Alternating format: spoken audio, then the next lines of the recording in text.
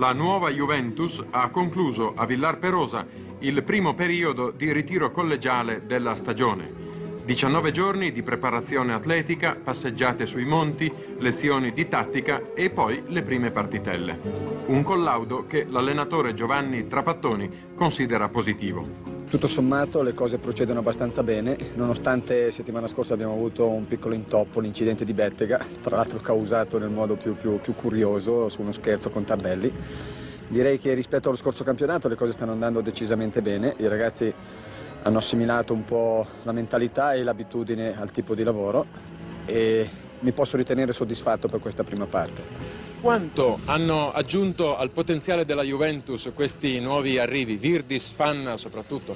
Ma direi che hanno aggiunto un notevole potenziale, quale eh, innanzitutto la loro capacità eh, tecnica, la loro, la loro giovinezza e, e, direi soprattutto eh, la, la possibilità di dare dei ricambi senza, credo, senza creare grossi scompensi in seno alla prima squadra perché quest'anno eh, gli impegni saranno molti e notevoli.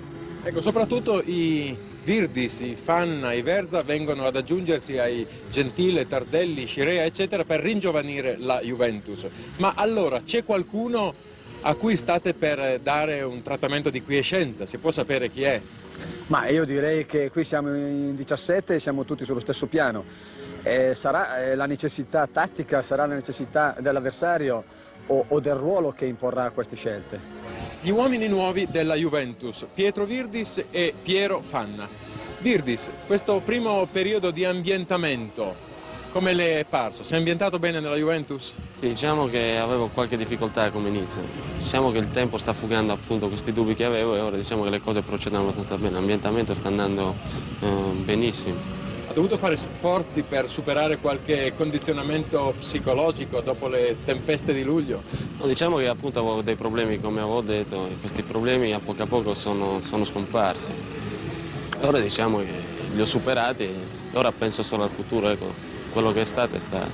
Ecco, parliamo di, di collocazione sua in squadra. Diciamo che logicamente come inizio dovrò, dovrò aspettare.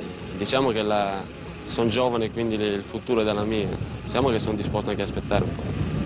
Fanna, lei arriva dall'Atalanta, adesso state davvero facendo la colonia degli atalantini in bianco-nero, eh? Beh, esatto, perché tra Sirea, Cabrini e me c'è stato come un, più che un gemellaggio tra queste due società che hanno concluso poco tempo fa proprio sta, sta unione proprio con lealtà. Ecco. Prospettive per un suo inserimento in squadra. Lei fa tremare l'erba sotto i piedi a Causio, credo. No, non, non, è vero. Noi siamo amici, ho trovato tutti amici bravi che mi hanno aiutato fino adesso.